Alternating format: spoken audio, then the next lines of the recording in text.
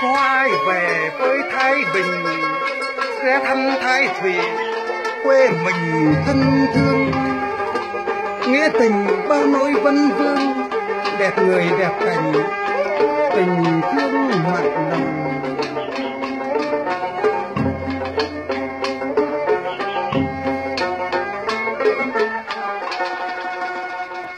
thái thủy quê